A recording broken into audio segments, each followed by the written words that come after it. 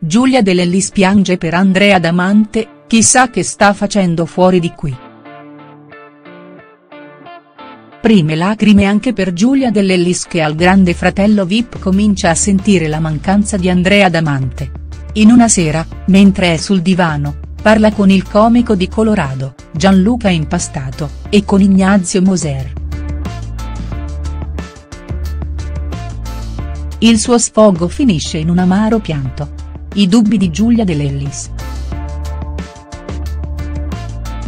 Giulia Dell'Ellis traccia un'ipotesi di quello che potrebbe succedere fuori dalla casa. Mi sono messa a pensare a quello che sto passando ed effettivamente lui si può fare dei pensieri, questa è la prova del 9.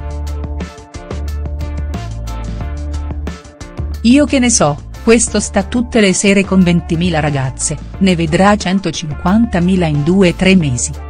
Lo può fare sempre, però parliamoci chiaro, 3 mesi so tanti. Andrea Damante è troppo furbo.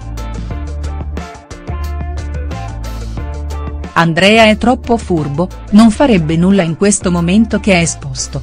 Se mai dovesse tradirmi, lo farebbe in modo che io non lo vorrei mai a sapere. Non lo faccio così povero. La mia paura più grande non è tanto il tradimento, ma il fatto di sapere che non sono più indispensabile. Giulia Dell'Ellis si sopravvaluta, si lascia andare ad una possibile sensazione da donna e i due presenti, increduli, provano a calmarla. Io non vorrei avere una sensazione di quelle che scianno tutte le donne. Magari si rende conto, sto pensiero che lui possa avere, non lo so, mi farebbe male pensare che non gli manco come lui manca a me.